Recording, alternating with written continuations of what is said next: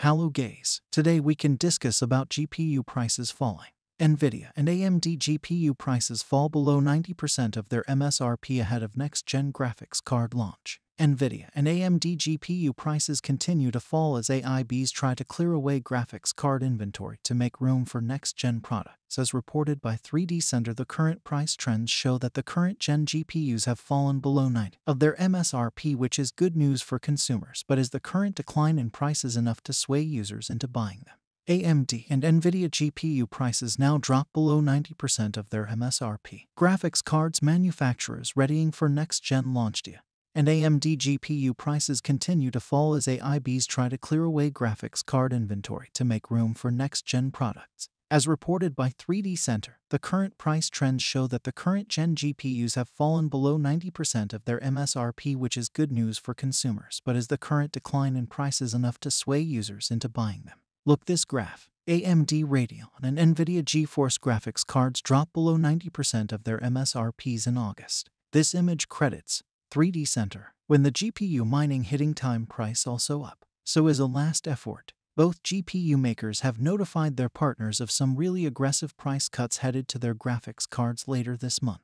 This will be the last attempt to get rid of any and all inventory of graphics cards, but at the same time, it looks like the price cuts have made the GPU prices fall below 90% of the MSRP. Currently, the NVIDIA GeForce RTX 30 series are priced at an average 87% lower than their MSRP, while the AMD Radeon RX 6000 series are priced at 84% lower pricing than their MSRP. 3DCenter also provides a crucial update, listing down the release models from each manufacturer and where their pricing currently stands. As per the report, the main lineup, which excludes low-end and premium models, is made up of 6800 Armenian DRAMs XT 680, RTX 3080 10GB, RTX 3070 Ti, and RTX 3060. The pricing of this main lineup has settled at 97% below MSRP, but it looks like they are just at MSRP and with the next gen so close. These prices don't look that attractive considering in the last gen, we saw prices tumble far lower than MSRP prior to the launch of next gen products. AMD Radeon RX 6000 series graphics card prices RDNA2 GPUs. The AMD Radeon RX 6000 series graphics cards have seen the biggest drop in prices when looking at the overall lineup.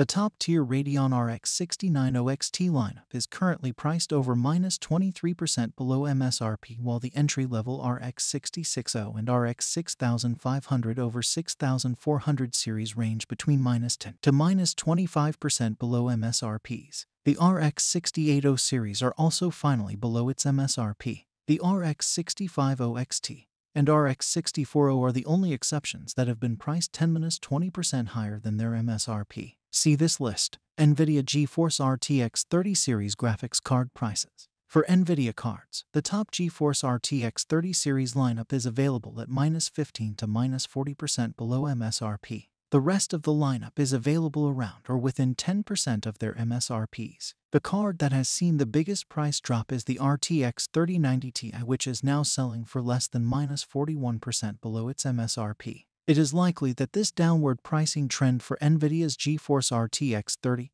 and AMD Radeon RX 6000 series graphics cards won't stop here, and we expect more price cuts to happen soon since we are inching towards the launch of the next gen cards. But if hitting the MSRP or minus 10% below MSRP is the final goal off AIBs, then I would say that would be a little underwhelming based on the uplifts we are expecting from the next gen lineup in terms of performance. So unless you are getting a really good deal, say minus 60% to 50% of the MSRP, I'd say your best option would be to wait for a next-gen graphics card rather than buying a two-year-old graphics card that will soon be replaced by something much better. So please wait for two or three months we can buy RTX 3090 Ti and 3080 Ti for cheaper price. Thanks for watching this video.